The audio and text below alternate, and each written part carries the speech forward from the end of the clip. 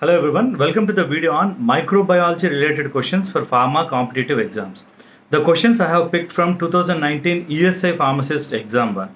Let us look at the questions first. The first question is Treponema pallidum is the causative organism of options given are syphilis, chlamydia, AIDS, gonorrhea.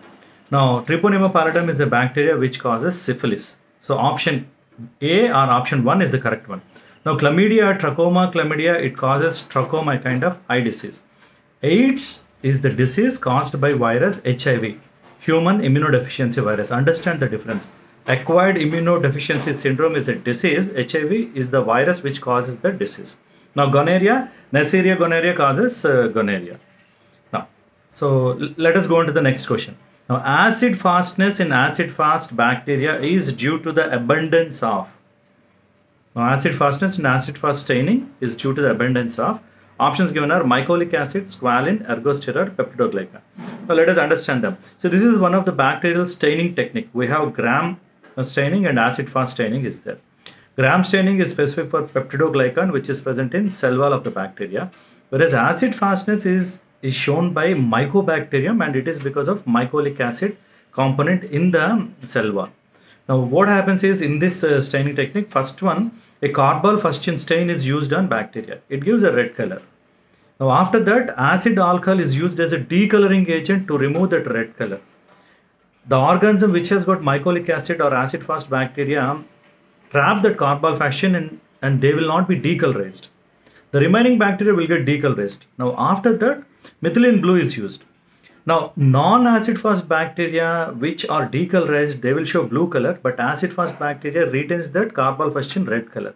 This is what the staining technique is. The logic or the reason for acid fastness is mycolic acid. Squalene, ergosterol, both of them are present in fungal cell wall. From squalene, it is converted. excuse me. Squalene is converted to lanosterol. Lanosterol is converted to ergosterol. These are present in fungal cell wall. Peptidoglycan is the basis for gram-positive uh, stain. It is present in gram-positive bacteria cell wall. So the option for acid fast uh, fastness in acid fast staining is due to mycolic acid. Option one. Let's move on to the next question. Spherical shaped bacteria are termed as see morphological features will will give the names of bacteria. Bacilli bacteria will be rod shaped. cocci bacteria are in spherical shape. Spirochetes are in spiral shape. Vibrios are comma shaped. So spherical shaped bacteria are uh, uh, option is cocci bacteria.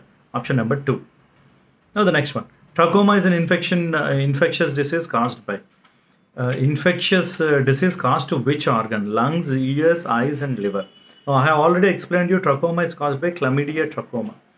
It it affects organ eye.